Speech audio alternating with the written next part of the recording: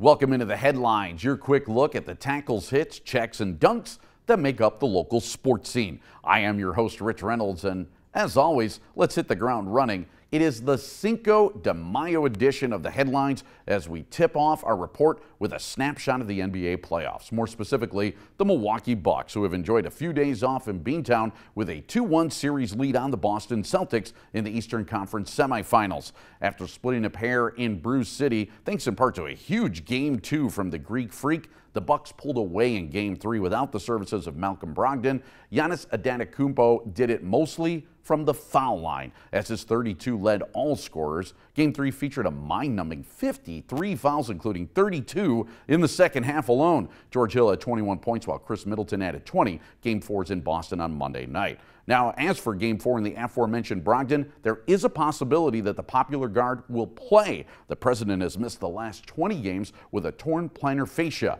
If Brogdon can go, it'll be interesting to see how healthy he is and how he's going to be used in head coach Mike Budenholzer's rotation, which has gotten used to Brogdon being out. However, if he is the same Brogdon as before the injury, it very well could be the piece that puts Milwaukee in place to win their first NBA title in nearly five decades.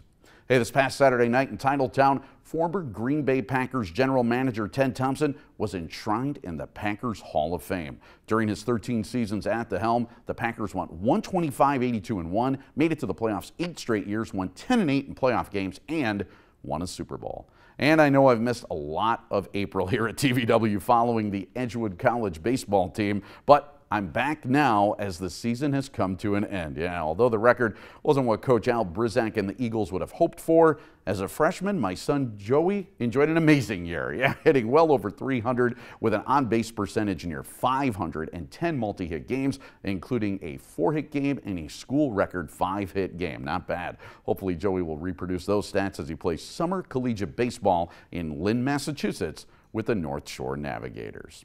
Hey, for all the 411 on these headlines and more, please visit these fine websites.